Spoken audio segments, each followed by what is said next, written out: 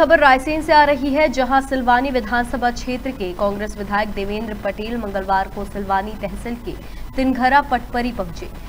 विधायक पटेल ने यहाँ पहुंचकर वायरल बुखार उल्टी दस्त से पीड़ित ग्रामीणों का हालचाल जाना।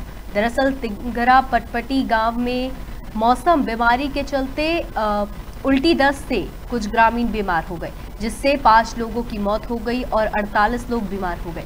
यही वजह है कि सूचना मिलते ही विधायक तत्काल गाँव पहुँचे और ग्रामीणों का हालचाल जाना। साथ ही मेडिकल टीम को 24 घंटे गाँव में मौजूद रहकर ग्रामीणों का इलाज करने के निर्देश दिए। संबंधित अधिकारियों को प्रभावित मरीजों का समुचित इलाज सुनिश्चित करने के लिए निर्देश दिए। मरने वाले लोगों को तत्काल बीस हज़ार रुपए स्वीकृत किए गए और इस अवसर पर सिलवानी एसडीएम तहसीलदार जनपद सीईओ, स्वास्थ्य अधिकारी, पीएचई अधिकारी भी मौजूद रहे। रायसेन से नरेंद्र राय की रिपोर्ट। जो लोग यहाँ पे जो आकस्मिक मृत्यु हुई है, उनके लिए हमने बीस हज़ार रुपये की सहायता राशि हम लोगों के लिए स्वीकृत की। साथ में सभी ग्राम के लोग हैं, तीनों मोहल्ले के लोग हैं यहाँ पर। प्रशासनिक अधिकारी भी है। स्थिति जो सामान है, सब लोग ठीक सुरक्षित है।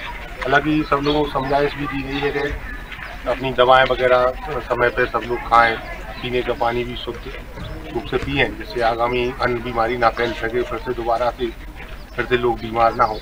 ऐसी लोगों से हम अपेक्षा कर रहे हैं और साथ ही कहीं भी कोई व्यक्ति के लिए कोई भी परेशानी है, कोई भी दुख कष्ट है तो उसमें हम सब लोग तत्परता से सब ग्रामवासियों के साथ खड़े हुए हैं। हमेशा उनको मदद करने में पूरा सहयोग करेंगे। अभी बात हुई है कलेक्टर साहब से तो एक ट्रांसफार्मर कल परसों में हम एक ट्रांसफार्मर यहाँ पर